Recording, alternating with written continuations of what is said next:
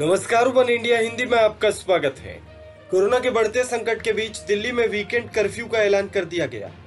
ये weekend curfew शुक्रवार रात 10 बजे शुरू होगा और सोमवार सुबह 6 बजे तक जारी रहेगा। इस दौरान मॉल, जिम और स्पा सब बंद रहेगा, लेकिन आवश्यक कामों के लिए लोगों को कर्फ्यू पास दिया जाएगा। मुख्यमंत्री केजरीवाल ने प्रेस कॉन्फ्रेंस में यह ऐलान किया। सबने मिल ये निर्णय लिए हैं कि वीकेंड के ऊपर कर्फ्यू दिल्ली के अंदर लगाया जाएगा।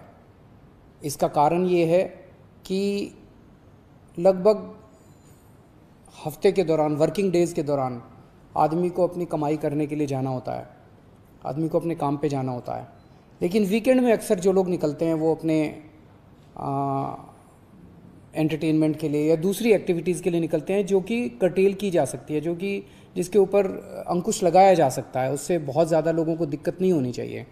इसीलिए चेन तोड़ने के लिए वीकेंड के ऊपर ताकि लोग ज़्यादा संपर्क में ना आए, वीकेंड के ऊपर कर्फ्यू लगाया जा रहा है। लेकिन इस कर्फ्यू की वजह से जो एसेंशियल सर्विसेज़ हैं, मान लीजिए आपको अस्पताल जाना है, मान लीजिए आपको एयरपोर्ट जाना है, मान लीजिए आपको रेलवे स्टेशन जाना है, एक और भी बड़ी चीज़ है कि ये शादियों का सीज़न है और कई लोगों की ऑलरेडी शादी की डेट्स डिसाइड हो चुकी हैं, सब कुछ तैयारियाँ हो चुकी हैं। हम नहीं चाहते कि उनको किसी तरह की तकलीफ़ हो।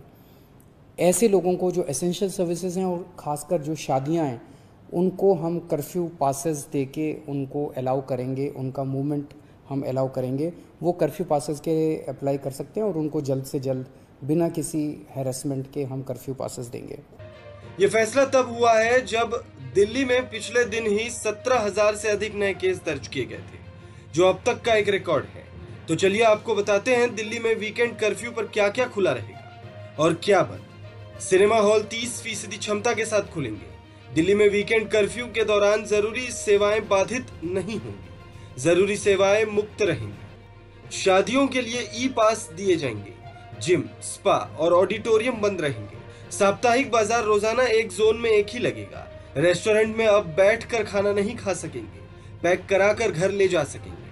वीकेंड कर्फ्यू लगाने के दौरान ट्रेन और हवाई यात्रियों के लिए अन्य राज्यों से आने वाले वाहन चालकों को छूट है। टिकट दिखाकर यात्रा कर सकेंगे। आईडी कार्ड दिखाने पर private doctor, nurse, paramedical staff को भी छूट मिलेगी। पत्रकार को छूट मिलेगी। रात में वैक्सीन लगवाने वालों को भी छूट रहेगी। वहीं राशन, किराना, फल, सब्ज़ी, दूध, दवा से जुड़े दुकानदारों को ई पास के ज़रिए ही मूवमेंट की छूट होगी। फ़िलहाल पिछले 24 घंटे में दिल्ली में कोरोना के सत्रह नए मरीजों की पुष्टि हुई और एक बार एक लाख से ज़्यादा, एक लाख आठ हज़ार पाँच सौ चौतीस सैंपल की जाँच में पंद्रह दशमलव नौ दो पॉजिटिव रेट दर्ज हुआ है। वायरस की वजह से 104 मरीजों की मौत हो इस खबर में फ़िलहाल इतना है। तमाम अपडेट्स के लिए बने रहिए वन इंडिया हिंदी के साथ।